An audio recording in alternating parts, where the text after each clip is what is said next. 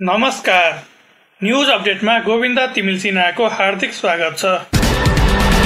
सञ्चारिका समूह गण्डकी प्रदेशको पाँचौं अधिवेशनले स्मृता अधिकारीको अध्यक्षतामा सत्र सदस्यीय सर्वसम्मत नयाँ नेतृत्व चयन गरेको छ। नवनिर्वाचित कार्य समितिको उपाध्यक्षमा राधिका कडेल महासचिव कविता श्रेष्ठ सचिवमा कञ्चन थापा र कोषाध्यक्षमा उमा आले मगर हुनुभएको छ। त्यसै गरी सदस्यहरूमा रोशनी गुरुङ तारा चापागाई पुनम मगर दुर्गा राणा मगर कविता घरती मगर सोनिया लामा अनिसा श्रेष्ठ चयन हुनुभएको छ भने गोर्खा तनहु लमजुङ पर्वत र स्याङ्जाका अध्यक्षलाई सदस्यमा राखिएको छ। नवनिर्वाचित अध्यक्ष अधिकारीले पत्रकार महिलाको क्षमता अभिवृद्धि हक हित संरक्षण कार्य गर्ने प्रतिबद्धता व्यक्त गर्नुभयो। शनिबार नेतृत्व चयन हुन नसकेपछि आइतबार सर्वसम्मत रूपमा नेतृत्व चयन गरिएको हो।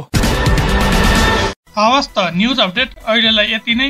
ताजा ताजा न्युजको लागि हाम्रो च्यानल अवश्य पनि सब्सक्राइब गर्न नबिर्सनुहोला।